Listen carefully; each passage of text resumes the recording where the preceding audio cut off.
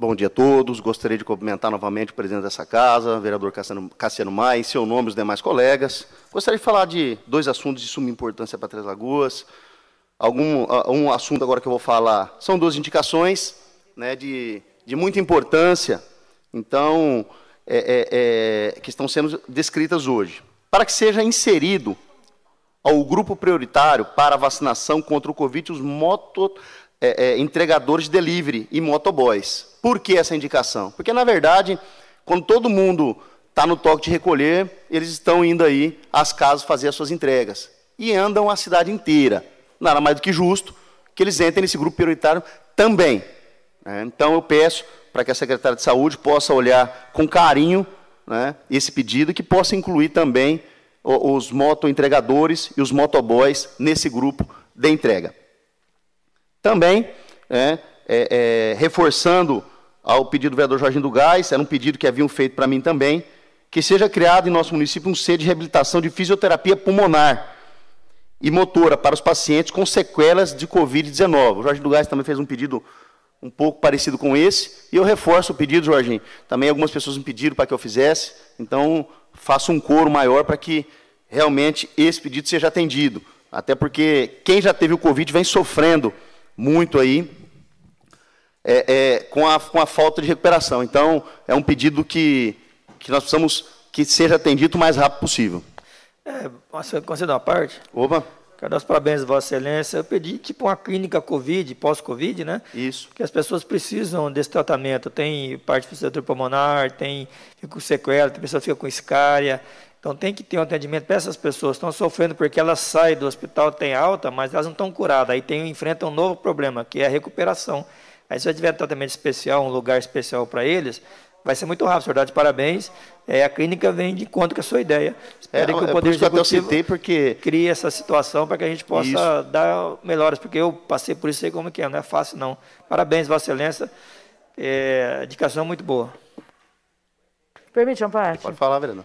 Eu, eu fiz essa indicação algum tempo atrás e eu vejo assim, o poder público, infelizmente ainda, a gente vê assim a resistência de fazer igual. Eu conheço muitas pessoas que se contaminam, têm a doença e o tratamento ofertado de pirona. Se você quiser fazer aquele tratamento lá, sabe? Então, quer dizer, não fazem um exame após, não tem aquele acompanhamento. Então, está de parabéns e eu acho que a prefeitura tinha que, pelo menos, nos ouvir e dar uma assistência a esses pacientes.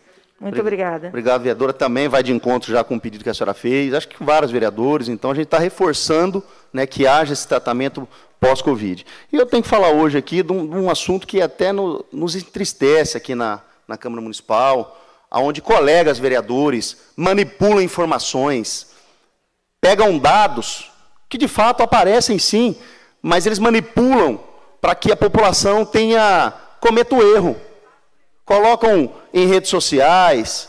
Há muito pouco tempo atrás, agora, alguns dias, um nobre colega vereador colocou em suas redes sociais, falando que um vídeo da Covid-19, aonde coloca que foram gastos mais com propaganda do que com a Covid-19, tanto a Câmara quanto a Prefeitura. E é um absurdo a forma que foi colocado, me causa indignação sim, porque os dados são manipulados. A única forma de combate ao Covid que nós tínhamos no ano passado, e esse ano também, de forma eficaz, era levar informação à população. Essas propagandas, quem pediu para fazer foi o Ministério Público. Foi autorizada por eles, nem poderia fazer propaganda, porque era no eleitoral. O Ministério Público autorizou que fossem feitas propagandas exclusivamente de combate ao coronavírus. E é uma vergonha eu escutar falar que nós gastamos mais com propaganda do que que combate ao coronavírus. Se a única forma de combate ao coronavírus à época era levar informação à população. E falar que nós gastamos, que a prefeitura gastou 5 milhões, e a Câmara ajudou também. A prefeitura gastou, é, teria a obrigação de gastar 15% de investimento na saúde. Foram gastos quase 30%, chegando ao valor de 132 milhões. Só para o Covid, Quase 30 milhões foram gastos, não foi 5 milhões. Quase 30, especificamente. E foram gastos um total, com verba da União, Estado e município, quase 240 milhões. Então nós temos que ter respeito em falar que nós gastamos apenas 5 milhões em combate ao Covid. Fora o que foi, isso aqui não está incluído o que foi gasto com a, com a mídia, que era a força maior de combate ao coronavírus. Aí fica um videozinho rodando e as pessoas ligando, perguntando: olha, vereador, é verdade isso? É mentira. Eu não estou dizendo que não gastou, mas os números, eles aceitam, infelizmente, eles aceitam a manipulação. Isso não pode mais acontecer, gente. A população está perdida. A população não sabe o que está acontecendo. Porque um fala uma coisa, outro fala outra. Agora um momento de calma, de serenidade, de todos se unirem. Aqui não tem situação, oposição, aqui não tem. Aqui são 17 vereadores, um vice-prefeito e um prefeito unido para salvar vidas. Não para ficar jogando esses vídeos para denegrir mais do prefeito, para denegrir mais do, do, do, atual presidente da Câmara, do antigo, do antigo, dos vereadores, do vereador que defende o prefeito, do vereador. Não é hora. Não é hora disso, gente. É hora de passar para a população que é verdade. Aí vamos falar agora que uns ah, mas foi 237 milhões, mas não foi só da prefeitura. Mas quem foi buscar isso aqui foi vereadores que foram lá pedir, vereadores que foram, prefeito que foi lá pedir, vice-prefeito que foi lá pedir, para que viesse esse valor. Quase 30 milhões especificamente gasto com coronavírus, como 5. Aí manipulam porque foi da fonte zero. Não existe, gente. Você nunca, quando você vai ler um livro, você não lê pela metade ou você não lê só o capítulo. Você tem que entender o livro. Para você entender o livro, você tem que contar todas as histórias, o que de fato aconteceu. Isso está ficando muito feio para essa casa. Os colegas vão e, e, e jogam palavra aos, aos ventos, como se fosse o único vereador que está fazendo certo. Vale destacar só uma coisa. Para todos os vereadores nessa casa, inclusive para mim. O vereador tem sua função estipulada pela Constituição Federal pela lei orgânica do município e pelo regimento interno. Quando ele ultrapassa o dever dele, ele, tá, ele não está sendo melhor que outro vereador. Ele está cometendo crime. Ele está cometendo crime. O vereador, quando ele ultrapassa o que é obrigação dele fazer, ele não está sendo melhor que ninguém. Ele está cometendo crime. E isso é que tem que ser bem claro nessa casa. O vereador, quando ele, ele passa, ele, ele comete crime de abuso de autoridade, é igual o promotor quando ele passa do, do, do poder dele de, de, de promover a justiça, o delegado de investigar. Quando ele passa do poder dele, ele está cometendo crime de abuso de autoridade. Não é diferente nessa casa. É a mesma coisa. Quando o vereador ultrapassa o que estabelece a Constituição Federal, a lei orgânica do município e o regimento interno, ele está cometendo crime de abuso de autoridade, crime de tráfico de influência, que é o que todo mundo aqui repugna. É o que todo mundo aqui não quer que aconteça.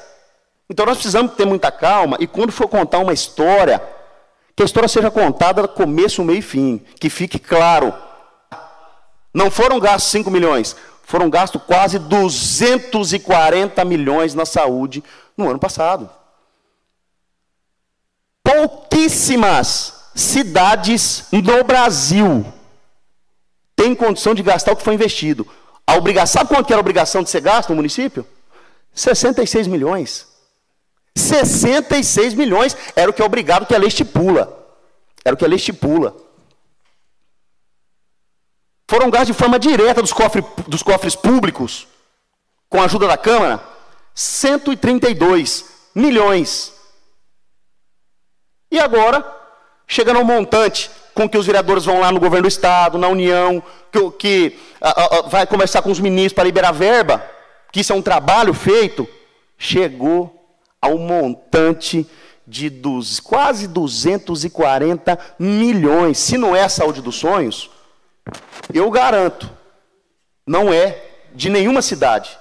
Vai ser a saúde dos sonhos de todos.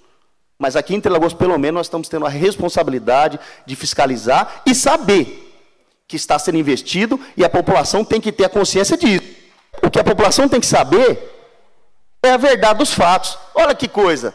Gastamos 5 milhões com combate ao Covid E mais de 6 milhões com propaganda, como se a propaganda não fosse o combate ao coronavírus.